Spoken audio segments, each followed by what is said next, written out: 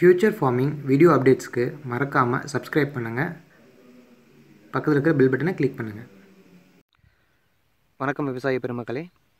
நம்ம future farming வீடியோவில் ஏற்கனவே நான் வாட்டர்மலன் வந்து ட்ரிப்பிள் அண்ட் மல்ச்சிங்கில் வந்து எப்படி கல்டிவேட் பண்ணுறதுன்னு சொல்லி நான் போட்டிருப்பேன். லாஸ்ட்டாக அதில் ஒரு வீடியோ பார்த்தீங்கன்னா வந்து அந்த வாட்டர்மலன் ஃபீல்டு வந்து ஃபார்ட்டி டு ஃபார்ட்டி த்ரீ டேஸில் இருந்தது. அப்போ வந்து அதோடய ஃப்ரூட் செட்லாம் பார்த்தீங்கன்னா ஒரு ஆஃப் கேஜ் சைஸில் இருக்குது இன்றைக்கி அதே ஃபீல்டு ஃபிஃப்டி டூ டேஸ் ஆன ஃப்ரூட்டில் வந்து நம்ம பார்த்துட்ருக்கோம் பிளான்ட்டில் ஓகேங்களா அப்போ வந்து ஆஃப் கேஜில் இருந்துச்சு.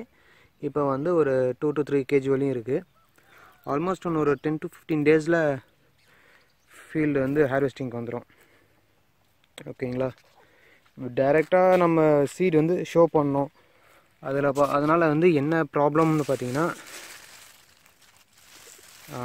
ஜெர்மினேஷன் தான். நல்ல ஒரு சீடு நல்ல தரமான சீடு வந்து பார்த்திங்கன்னா ஈஸியாக எஸ்டப்ளிஷ் ஆகி வந்துடும் ஆனால் சில சீட்ஸ் வந்து அந்த குவாலிட்டி கம்மியாக இருக்கிறப்ப வந்து அதில் ஜெர்மினேஷன் வந்து லேட் ஆகிடும் அந்த வீடியோவில் இருக்கிற ஃபோட்டோஸ்லேயே பார்த்தீங்கன்னா உங்களுக்கு தெரியும். ஒரு இது நல்லா வளர்ந்துருக்கும் ஒரு இது அப்போ தான் வந்து துளிர் வந்துட்டு இருக்கும். இந்த இதெல்லாம் பார்த்தீங்கன்னா வந்து டூ கேஜி மேலே வருங்க.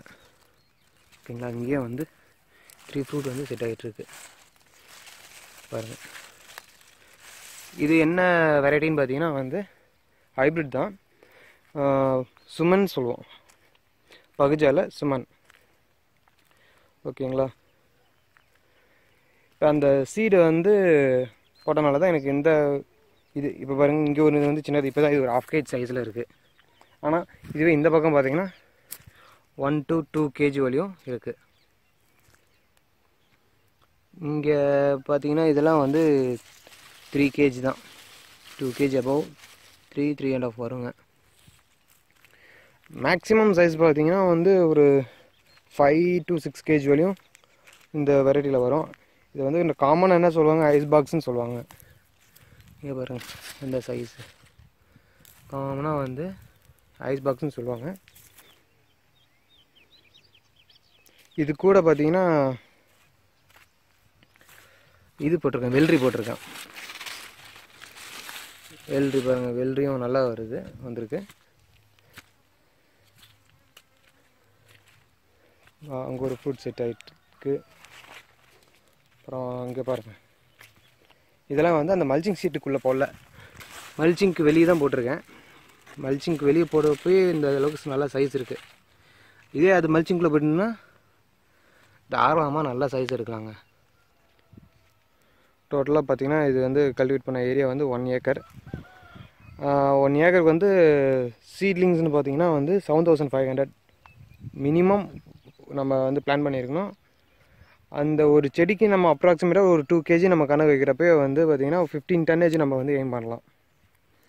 ஆனால் ஒரு செடிக்கு ரெண்டு கிலோவுக்கு மேலே ஏன் அப் டு ஃபைவ் கேஜி வரையும் நம்ம எடுக்கலாம். ஒரு அப்ராக்சிமேட் அப்படிங்கிற பட்சத்தில் தான் நான் வந்து டூ கேஜின்னு சொல்லியிருக்கேன். ஒரு ஏக்கருக்கு நார்மலாக ஃபிஃப்டீன் டன்ஸ் எடுக்கலாம். ஃபஸ்ட் கட்டிங்லே இப்போ செகண்ட் கட்டிங்ஸ்லாம் இருக்குது நம்ம செகண்ட் கட்டிங்ஸ் வந்து அது அப்புறம் பார்த்துக்கலாம். ஏன்னா நமக்கு வந்து ஃபஸ்ட்டு கான்சன்ட்ரேட் எல்லாமே பார்த்திங்கன்னா ஃபஸ்ட் கட்டிங்கில் தான் இருக்கணும். ஏன்னா அந்தளவுக்கு நம்ம வந்து காயோட ஷைனிங் ஆகட்டும் இல்லை வெயிட் ஆகட்டும் நம்ம கொண்டு வந்துடணுங்க.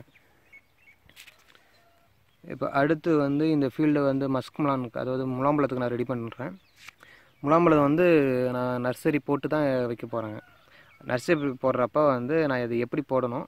எத்தனை நாள் வந்து டார்க் ரூமில் இருக்கணும்? எத்தனை நாள் வந்து ட்ரெய்லருக்கும் இருக்கணும். எப்போ நம்ம பிளான்டிங் பண்ணணும் அப்படிங்கிறத வந்து உங்களுக்கு நான் நெக்ஸ்ட் வீடியோவில் போடுறேங்க.